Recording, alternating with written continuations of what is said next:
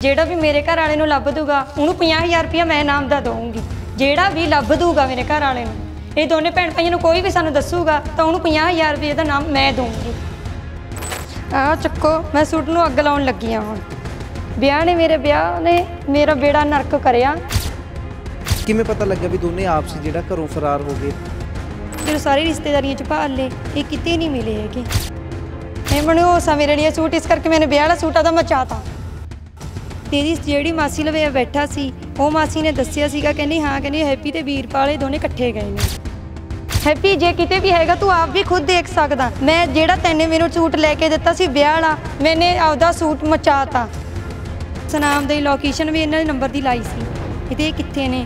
ਆਖਰੀ ਲੋਕੇਸ਼ਨ ਸਿਰਫ ਇਹਦੀ ਸਨਾਮ ਹੀ ਦੱਸ ਰਹੀ ਹੈ। ਤਾਂ ਮੁੜ ਕੇ ਕਿਸੇ ਪਰਿਵਾਰ ਨਾਲ ਵੀ ਨਹੀਂ ਤਾਲੁਕ ਹੋ ਸਕਦਾ। ਨਹੀਂ ਨਹੀਂ ਨਹੀਂ ਜੀ। ਆਹ ਦੇਖ ਲਓ ਜੀ, ਮੇਰੇ ਚੂੜਾ ਜਿਹਾ ਮੈਂ ਬੜੇ ਚਾਵਾਂ ਨਾਲ ਚੂੜਾ ਪਾਇਆ ਸੀਗਾ ਤੇ ਅੱਜ ਉਹ ਮੈਂ ਨਾਲ ਮੇਰਾ ਚੂੜਾ ਨਾਲ ਮੈਂ ਪੇਕੇ ਘਰ ਅਸੀਂ ਰੁਰ ਰਿਆਂਗੇ ਮੈਨੂੰ ਇਹ ਸ਼ੱਕ ਨਹੀਂ, ਮੈਨੂੰ ਇਹ ਗੱਲ ਦਾ ਯਕੀਨ ਆ ਤੇ ਮੇਰੀ ਸੱਸ ਲਵੇ ਇੱਕ ਲਾਸਟ ਫੋਨ ਹੈ ਸਿੰਪਲ ਫੋਨ ਆ ਉਹਦੇ ਕੋਲ। ਉਹ ਉਹਦੇ ਤੇ ਗੱਲ ਜ਼ਰੂਰ ਕਰਦੀ ਆ। ਜੇ ਮੇਰੇ ਆਦਮੀ ਦਾ ਕਿਤੇ ਵੀ ਹੈਪੀ ਤੂੰ ਹੈਗਾ, ਤਾਂ ਸਾਹਮਣੇ ਆ ਜਾ ਇੱਕ ਵਾਰ। ਮੈਨੂੰ ਡਿਵੋਰਸ ਦੇ ਜਾ, ਕਿਤੇ ਮਰਜ਼ੀ ਜਾ, ਕਿਤੇ ਮਰਜ਼ੀ ਨਾ ਮੈਨੂੰ ਕੋਈ ਤੇਰੇ ਤੱਕ ਟੈਨਸ਼ਨ ਨਹੀਂ ਹੈਗੀ। ਮੇਰੀ ਲਾਈਫ ਨਾ ਖਰਾਬ ਕਰ। ਮੇਰੀ ਸੱਸ ਦੇ ਬਿਨਾ ਉਹ ਇੱਕ ਮਿੰਟ ਵੀ ਨਹੀਂ ਰਹਿੰਦਾ ਸੀ। ਉਹ ਸਾਰੀ ਗੱਲਬਾਤ ਮਾੜੀ ਹੁੰਦੀ ਚੰਗੀ ਹੁੰਦੀ ਹਰੇਕ ਗੱਲ ਉਹਦੀ ਮਾਂ ਨਾਲ ਸ਼ੇਅਰ ਕਰਦਾ ਸੀ। ਇਕੱਠੇ ਭੱਜਣ ਦਾ ਕੀ ਰੀਜ਼ਨ ਅਸੀਂ ਸਮਝ ਸਕਦੇ ਤੁਸੀਂ ਕੀ ਸਮਝਦੇ ਹੋ ਵੀ ਉਹ ਜੋ ਆਪਸੀ ਇਕੱਠੇ ਕਿਉਂ ਭੱਜੇ? ਉਹ ਆਪਸ ਵਿੱਚ ਜੀ ਗਲਤ ਸੀ। ਉਹਨਾਂ ਦੇ ਨਾਲ ਜਦ ਪਹਿਲਾਂ ਹੀ ਸੰਬੰਧ ਹੈਗੇ ਸੀ।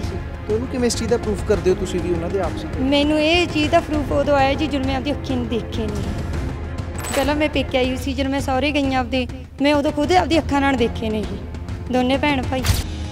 ਤਾਂ ਪਰਿਵਾਰ ਨੂੰ ਵੀ ਦੱਸੇ ਇਸ ਚੀਜ਼। ਮੈਨੇ ਜੀ ਸਭ ਨੂੰ ਦੱਸਿਆ ਸਾਰੇ ਪਰਿਵਾਰ ਨੂੰ ਦੱਸਿਆ ਸਾਰਿਆਂ ਨੂੰ ਮੈਂ ਇਹ ਗੱਲ ਕਰੀ ਸੀ।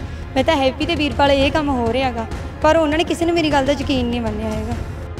ਸਾਰਿਆਂ ਨੇ ਗਾਲਾਂ ਮੈਨੂੰ ਦਿੱਤੀਆਂ ਕਹਿੰਦੇ ਤੂੰ ਗਲਤ ਕਹਿ ਰਹੀ ਆ ਤੂੰ ਝੂਠ ਬੋਲ ਰਹੀ ਆ ਤੂੰ ਇਲਜ਼ਾਮ ਲਾ ਰਹੀ ਆ। ਤਾਂ ਮੈਂ ਆਈ ਕਹਿੰਦੀ ਮਤਲਬ ਤਿੰਨ ਮਹੀਨੇ ਹੋ ਗਏ ਹੁਣ ਮੈਨੂੰ ਬੈਠੀ ਨੂੰ। ਤੇ ਹੈਪੀ ਹੁਣ ਤੈਨੂੰ ਪਤਾ ਤਾਂ ਹੈਪੀ ਤੇ ਵੀਰਪਾਲ ਗਲਤ ਸੀ ਉਹ ਤਾਂ ਤੈਨੂੰ ਪਤਾ ਹੀ ਹੈ। ਉਹ ਲੜਕੀ ਇਹਨਾਂ ਦੇ ਘਰੇ ਰਹਿੰਦੀ ਹੁੰਦੀ ਸੀ ਜਾਂ ਕਿਦਾਂ ਮੈਰਿਡ ਸੀ? ਉਹ ਮੈਰਿਡ ਸੀ ਉਹਦੀ ਮੈਰਿਜ ਹੋਈ ਹੋਈ ਸੀ। 3 ਸਾਲ 8 ਸਾਲ ਦਾ ਉਹਦਾ ਮੁੰਡਾ ਗਾ। ਤੇ ਉਹ ਵਿਆਹੀ ਵੀ ਹੋਈ ਆ ਉਹ ਕੁੜੀ। ਪਰ ਉਹ ਲੜ ਕੇ ਉਰੇ ਆਈ ਹੋਈ ਸੀ ਮੇਰੀ ਸੱਸ ਲਵੇ। ਹਣਾ, ਫਿਰ ਹੁਣ ਇਹਨਾਂ ਦਾ ਬਹਾਨਾ ਕੀ ਚਾਹੀਦਾ? ਹੁਣ ਇਹਨਾਂ ਦਾ ਬਹਾਨਾ ਕੀ ਚਾਹੀਦਾ? ਹੁਣ ਕੀ ਮਤਲਬ ਕਰਨਾ ਕੀ ਆ? ਮੈਂ ਸਿਰਫ ਇਹੀ ਗੱਲ ਚਾਹਣੀ ਹੈ ਤੇ ਜੇ ਇਹਨਾਂ ਦੇ ਫੈਮਿਲੀ ਦੇ ਵਿੱਚ ਕਿਸੇ ਨੂੰ ਵੀ ਪਤਾਗਾ ਤਾਂ ਮੈਨੂੰ ਇਹ ਦੱਸ ਦੇਣਾ ਤੇ ਇੱਕ ਵਾਰੀ ਮੇਰੇ ਸਾਹਮਣੇ ਹੈਪੀ ਨੂੰ ਸਾਹਮਣੇ ਕਰ ਦੇਣਾ। ਇੱਕ ਕਿਉਂ ਜੀ ਮੈਂ ਅ, ਮੈਂ ਵੀ ਅੱਗੇ ਵਧਣਾਗਾ ਸਾਰੀ ਲਾਈਫ ਮੈਂ ਐਂ ਕੱਢ ਨਹੀਂ ਸਕਦੀ ਹੈਗੀ। ਨਹੀਂ ਫਿਰ ਹੈਪੀ ਕਿਤੇ ਵੀ ਤੂੰ ਹੈਗਾ ਤਾਂ ਇੱਕ ਵਾਰ ਸਿਰਫ ਮੇਰੇ ਸਾਹਮਣੇ ਆ ਜਾ।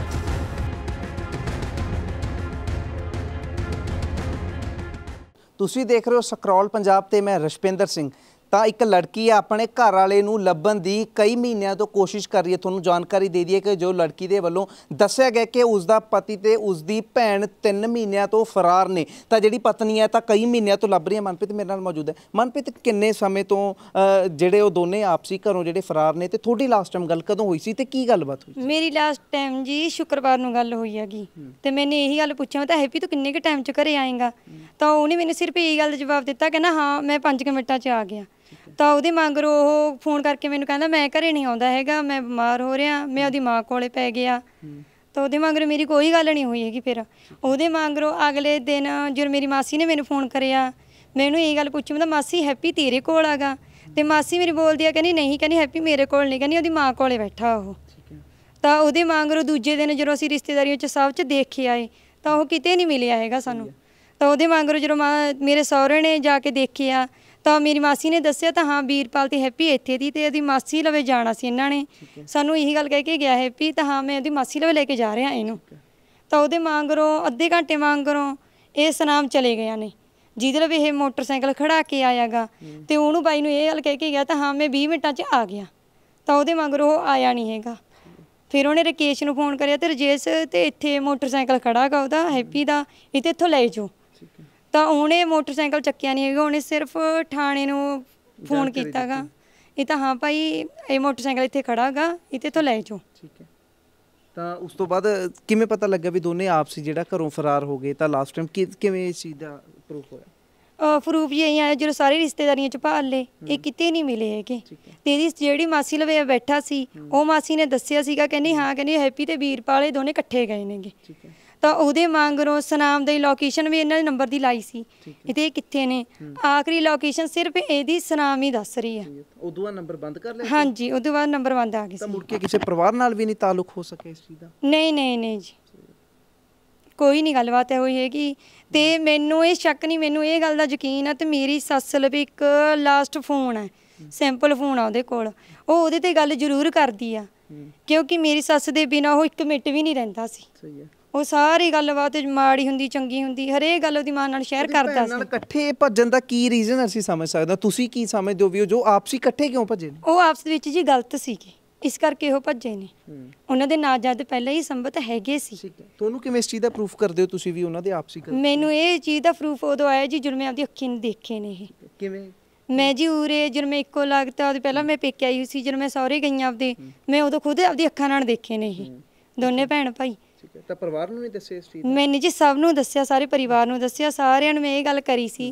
ਮੈਂ ਤਾਂ ਹੈਪੀ ਤੇ ਵੀਰਪਾਲ ਇਹ ਕੰਮ ਹੋ ਰਿਹਾਗਾ ਪਰ ਉਹਨਾਂ ਨੇ ਕਿਸੇ ਨੇ ਮੇਰੀ ਗੱਲ ਦਾ ਯਕੀਨ ਨਹੀਂ ਮੰਨਿਆ ਹੈਗਾ। ਸਾਰਿਆਂ ਨੇ ਗਾਲਾਂ ਮੈਨੂੰ ਦਿੱਤੀਆਂ ਕਹਿੰਦੇ ਤੂੰ ਗਲਤ ਕਹਿ ਰਹੀ ਆ ਤੂੰ ਝੂਠ ਬੋਲ ਰਹੀ ਆ ਤੂੰ ਇਲਜ਼ਾਮ ਲਾ ਰਹੀ ਆ। ਤਾਂ ਲੜਕੀ ਇਹਨਾਂ ਦੇ ਘਰੇ ਰਹਿੰਦੀ ਹੁੰਦੀ ਸੀ ਜਾਂ ਕਿਦਾਂ ਮੈਰਿਡ ਸੀ ਉਹ? ਉਹ ਮੈਰਿਡ ਸੀ ਜੀ।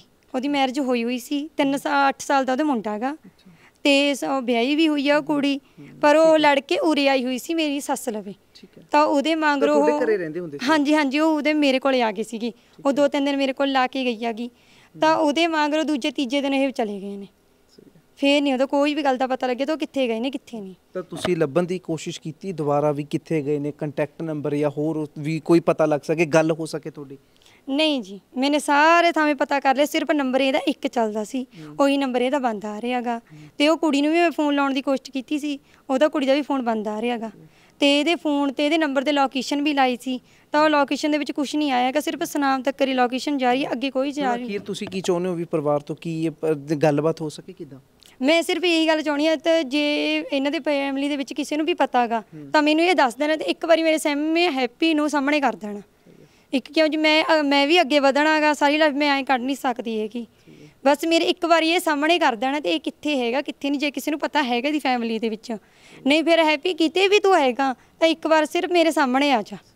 ਬਸ ਮੈਂ ਮੈਨੂੰ ਤਲਾਕ ਦੇ ਜਾ ਫਿਰ ਉਹਦਾ ਕਿਤੇ ਮਰਜ਼ੀ ਜਾ ਮੈਨੂੰ ਕੋਈ ਟੈਨਸ਼ਨ ਨਹੀਂ ਹੈਗੀ ਤੇਰੇ ਤੱਕ ਹੈਗੀ ਤਾਂ ਹੈਪੀ ਨੂੰ ਲੱਭਣ ਦੀ ਜਿਹੜੀ ਗੁਹਾਰ ਲਾ ਰਹੇ ਨੇ ਕਿ ਹੈਪੀ ਤੂੰ ਸਾਹਮਣੇ ਆ ਜਾ ਵੀ, ਮੇਰੀ ਜ਼ਿੰਦਗੀ ਵੀ ਜਿਹੜੀ ਬਰਬਾਦ ਹੋ ਰਹੀ ਹੈ ਕਿ ਤੂੰ ਸਾਹਮਣੇ ਆ ਜਾ ਵੀ, ਜੋ ਵੀ ਗੱਲ ਹੁੰਦੀ ਹੈ ਉਹ ਬਹਿ ਕੇ ਹੋ ਸਕਦੀ ਹੈ। ਤਾਂ ਜਿਹੜਾ 3 ਮਹੀਨਿਆਂ ਤੋਂ ਆਪਣੀ ਭੈਣ ਦੇ ਨਾਲ ਜਿਹੜਾ ਹੈਪੀ ਤਾਂ ਉਹ ਫਰਾਰ ਹੈ, ਤਾਂ ਜਿਹੜੀ ਉਸ ਦੀ ਪਤਨੀ ਹੈ ਤਾਂ ਉਹ 3 ਮਹੀਨਿਆਂ ਤੋਂ ਲੱਭਣ ਦੀ ਕੋਸ਼ਿਸ਼ ਕਰ ਰਹੀ ਹੈ ਕਿ ਤੂੰ ਸਾਹਮਣੇ ਆ ਜਾ। ਇੱਕ ਵਾਰ ਜਿਹੜੀ ਗੱਲਬਾਤ ਸਾਡੇ ਚੈਨਲ ਦੇ ਮਾਧਿਅਮ ਰਾਹੀਂ ਵੀ ਜਿਹੜੀ ਅਪੀਲ ਕੀਤੀ ਹੈ ਕਿ ਸਾਹਮਣੇ ਆ ਜਾ, ਜਿਹੜੀ ਇੱਕ ਵਾਰ ਗੱਲਬਾਤ ਹੈ ਤਾਂ ਸਿਰੇ ਗੱਲਬਾਤ ਹੋ ਸਕੇ, ਤਾਂ ਕਿ ਕੋਈ ਵੀ ਜਿਹੜਾ ਨਿਬੇੜਤਾ ਉਹ ਇੱਕ ਪਾਸੇ ਲੱਗ ਸਕੇ।